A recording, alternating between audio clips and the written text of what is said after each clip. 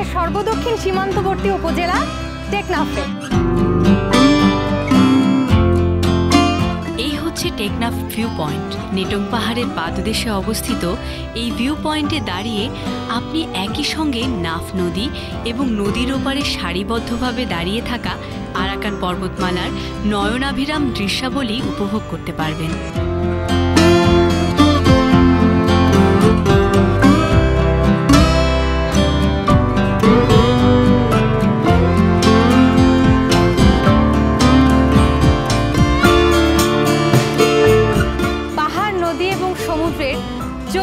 প্রাকৃতিক সৌন্দর্য লীলাভূমি, এই টেকনাফ।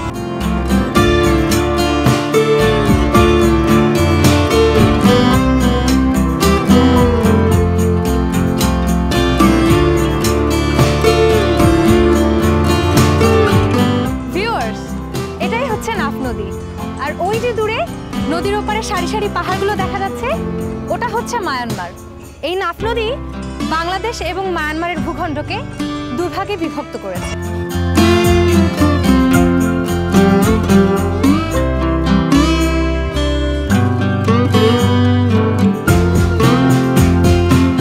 পিছনে মাথার উপরে রয়েছে নেটং পাহাড়। রাখাইন শব্দ নেটং অর্থ হচ্ছে দেবতা। তাই স্থানীয় জনগণের কাছে এটি দেবতার পাহাড় নামেই সুপরিচিত।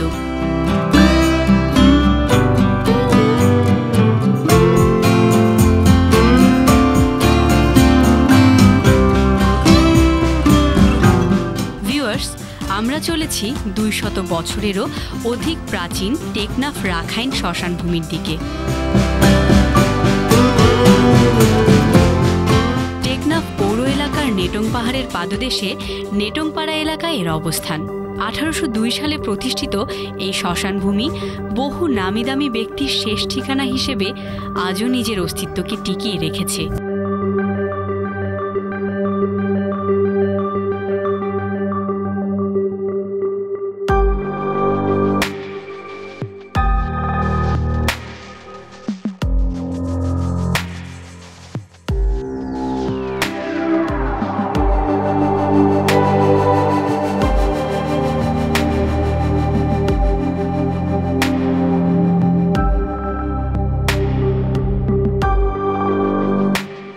ব্রিটিশ শাসক কর্তৃক চৌধুরী খেতাবপ্রাপ্ত টেকনাফের প্রতাপশালী রাখাইন জমিদার ক্যাজাপ্রো চৌধুরী থেকে শুরু করে সদ্য প্রয়াত মংগ্রি চৌধুরী পর্যন্ত টেকনাফ জমিদার পরিবারের প্রয়াত সকল সদস্যেরই শেষ ঠিকানা হয়েছে এই টেকনাফ রাখাইন শ্মশানভূমিতে।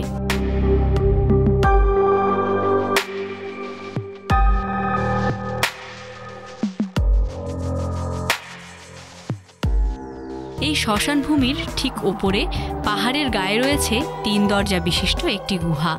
আনুমানিক দুইশত বছরের প্রাচীন এই গুহা নিয়ে স্থানীয় জনগণের মধ্যে রয়েছে নানা মত।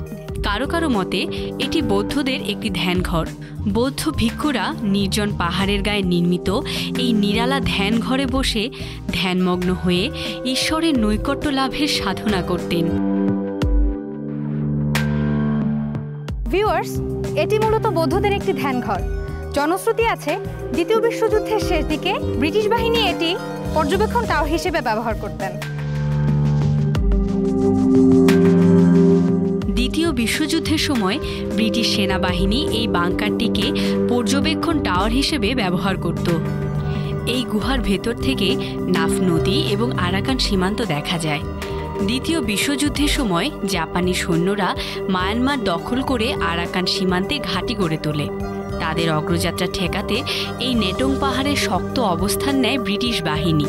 যুদ্ধ সরঞ্জাম আনার জন্য কক্সবাজার থেকে উখিয়াঘাট পর্যন্ত তিরিশ কিলোমিটার সড়ক নির্মাণ করে তারা। উখিয়াঘাট থেকে বঙ্গোপসাগর হয়ে নাফ নদীর ওপর দিয়ে নৌকা ও স্টিমার যোগে যুদ্ধ সরঞ্জাম ও সৈন্য আসত টেকনাফে। নাফ নদীর ওপর দিয়ে আসার সময় আরাকান সীমান্তে অবস্থানরত জাপানি সৈন্যদের গুলিতে হতাহত হতো বহু ব্রিটিশ সৈন্য। নিহতদের অধিকাংশের লাশই মাটি চাপা দেওয়া হতো এই পাহাড়ের বিভিন্ন জায়গায়। ভিউয়ার্স, আমরা যাচ্ছি ঐতিহাসিক মাথিনের কূপ দেখতে। সময়ের অজান্তে পৃথিবীতে এমন কিছু প্রেম উপাখ্যান সৃষ্টি হয় যা কোনো বিশেষ স্থানকে বিশেষায়িত করে। এমনই এক মর্মস্পর্শী প্রেম কাহিনী স্মৃতিস্মারক টেকনাফ থানা কম্পাউন্ডে অবস্থিত মাথিনের কূপ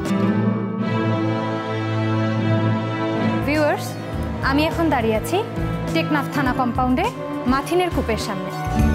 বিংশ শতাব্দীর গোড়ার দিকে কলকাতার ধীরাজ ভট্টাচার্য নামে এক পুলিশ কর্মকর্তা টেকনাফ থানায় বদলি হয়ে আসে।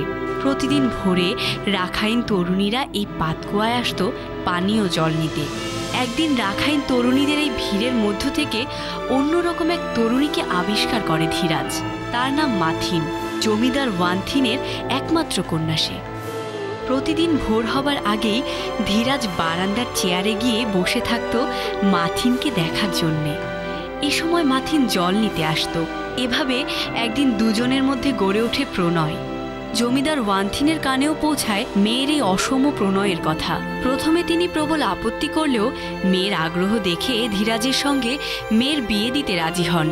বিয়ের দিনক্ষণ ঠিক হয়। একদিন কাউকে কিছু না জানিয়ে কলকাতায় চলে যায় ধীরাজ। ধীরাজ যাওয়ার পর থেকে মাথিন অন্য জল ত্যাগ করে শয্যাশায়ী হয় এবং পণ করে ধীরাজ ফিরে না আসা পর্যন্ত সে আর কোনোদিন অন্য জল স্পর্শ করবে না। এভাবে চলতে চলতে একদিন মাথিন মৃত্যুর কোলে ঢলে পড়ে। আজ মাথিন নেই, আছে তার স্মৃতি বিজড়িত এই পাতকুয়া। মৃত্যুঞ্জয়ী প্রেম, অকালে প্রেমময়ী মাথিনের জীবন প্রদীপ নিভিয়ে দিলেও তাকে দান করেছে অমরত্ব। কালের সীমানা ছাড়িয়ে যুগ যুগ ধরে মাথিন বেঁচে আছে এ দেশের মানুষের মুখে মুখে।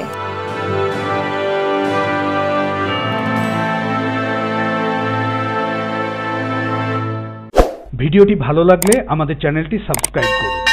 নতুন নতুন ভিডিও পেতে বেল নোটিফিকেশনে ক্লিক করুন। আমাদের সাথে থাকার জন্য ধন্যবাদ।